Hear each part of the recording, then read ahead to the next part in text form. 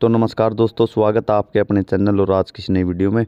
तो दोस्तों, ये स्पेशल वीडियो बनाई है विनय खत्री के लिए कि विनय खत्री कब खेल सकता है या कब खेलेगा। तो देखो भाई, कोई प्रॉपर जानकारी तो नहीं है कि कब विनय खत्री खेलेगा या किस टूर्नामेंट में खेलेगा। लेकिन जो एस्टिमेट है, वो आप सबको बताएँगे, आप सबके साथ शेयर करेंगे। तो भाई, सबसे पहले तो बात कर लेते हैं कि विनय खत्री इतने दिन से मैच क्यों नहीं खेल रहा, कबड्डी क्यों नहीं खेल रहा? तो बहुत सारे भाइयों को तो पता होगा, लेकिन कई भाई ऐसे हैं जिन तक जानकारी नहीं पहुँची थी कि विनय खत्री थोड़ा अनफिट चल रहा था और पहलवान ने ऑपरेशन भी करवाया था। तो यही कारण था कि विनय खत्री इतने दिन से कबड्डी नहीं खेल रहा था। लेकिन अगर बात करें कि विनय खत्री अब कब खेलेगा, कब हमें विनय खत्री का खेल देखने को मिलेगा?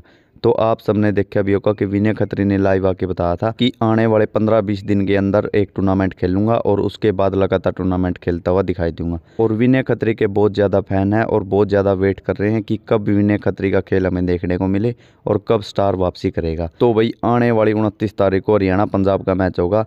उस टूर्नामेंट में, उस मैच में हरियाणा का सुपरस्टार रेडर विनय खत्री खेलता हुआ दिखाई देगा।